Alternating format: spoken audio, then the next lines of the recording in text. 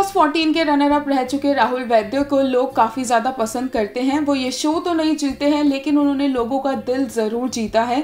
राहुल वैद्य को पिछले कुछ दिनों से बिग बॉस के घर से बाहर आने के बाद कभी पार्टी करते देखा जाता है तो कभी वो सिद्धि विनायक मंदिर पहुँच जाते हैं और अब उन्हें उनकी गर्लफ्रेंड दिशा परमार के साथ डिनर डेट के लिए बाहर स्पॉट किया गया। दिशा और राहुल दोनों को ही यहाँ पर व्हाइट कलर के आउटफिट्स में ट्विन करते हुए देखा जा सकता है। ये दोनों लव बर्ड्स डिनर डेट के लिए बाहर निकले और मीडिया ने इन्हें कैप्चर किया। दोनों का रिलेशनशिप जिस स्पीड से चल रहा है वो देखते हुए लगता है कि ये दोनों जल्द ही शादी के बंधन में बंध जाएँगे। देखिए इनका ये वीडियो सॉरी सॉरी राहुल भाई कैसे हो?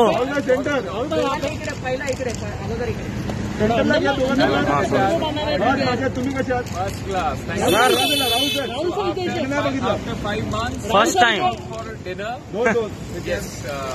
भाई कल फाइनली मैडम के साथ डिनर पे आज आ, सकता हूँ पाँच महीने मैंने यही मिस किया है और सिर्फ़ बिग बॉस में गालियाँ खा रहा था खाना तो नहीं खा रहा था नहीं नहीं सर आप आपने हमारा दिल भी जीता है। भाई कल हम Thank you.